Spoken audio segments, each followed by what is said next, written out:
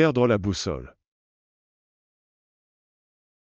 Perdre la boussole est une expression qui signifie perdre ses repères, se sentir désorienté ou confus.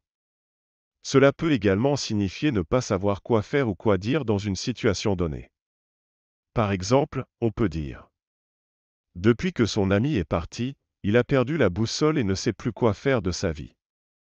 Le leader politique a perdu la boussole lors de l'interview et a commencé à dire des choses contradictoires. Quand il s'est retrouvé devant la foule, il a perdu la boussole et a oublié tout ce qu'il voulait dire. En somme, Perdre la boussole est souvent utilisé pour décrire un état de confusion ou de désorientation, que cela soit dû à un changement soudain de situation ou à une perte de repères personnels.